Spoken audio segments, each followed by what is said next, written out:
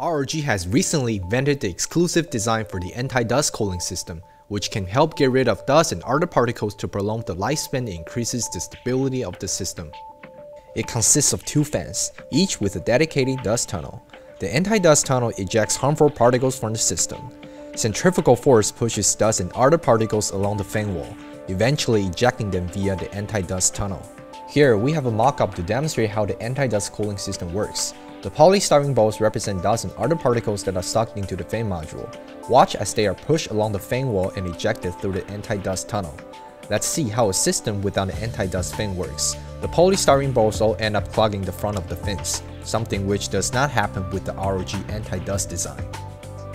Warm air goes through ultra-thin fins and goes out of the system via the exhaust, while dust is blown out through the tunnels. The anti-dust cooling system is a cooling masterpiece that improves system stability and extends the lifespan of the laptop.